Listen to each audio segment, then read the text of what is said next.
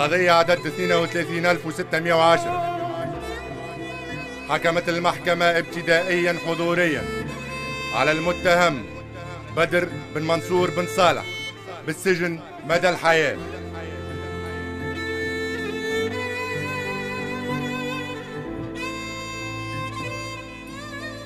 قضية عدد 41005 حكمت المحكمة ابتدائيا حضوريا على المتهم إبراهيم بن منصور بن صالح بالسجن مدة عشر سنوات. كما حكمت المحكمة في نفس القضية على المتهم شبيرم بن منصور بن صالح بالإعدام شنقا حتى الموت.